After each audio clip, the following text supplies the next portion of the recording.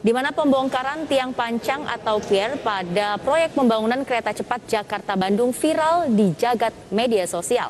Melalui video yang diunggah akun warganet di Twitter at Alburhan Center memperlihatkan prosesi pembongkaran salah satu tiang pancang kereta cepat yang dibangun oleh PT Kereta Cepat Indonesia China atau KCIC. Pembongkaran ini terkait runtuhnya tiang pancang yang menimpa eskavator. Ya, Presiden Direktur PT KCIC Dwi Yana Slamet Riyadi melalui keterangan resminya mengatakan pihaknya tidak akan mentolerir adanya kesalahan konstruksi yang melebihi toleransi yang dipersyaratkan. Tim quality dari PT KCIC dan konsultan supervisi CDJO menemukan pergeseran alignment pekerjaan pilar di K46 dan menginstruksikan kontraktor melakukan rework dan membongkarnya untuk dibangun kembali sesuai spesifikasi teknis yang sudah ditetapkan.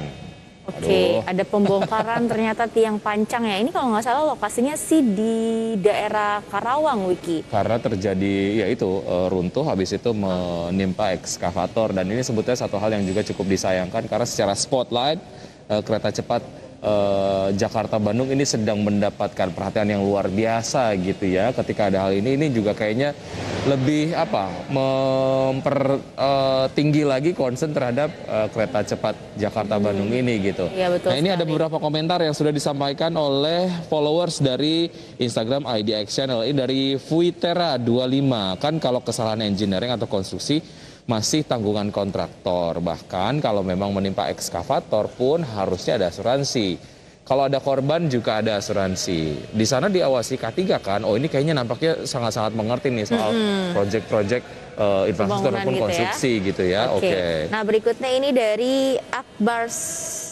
Fenzero 2018. Proyek yang terkesan buru-buru memang hasilnya tidak akan sesuai dengan SOP dan spesifikasi yang telah ditentukan dari awal. Parah.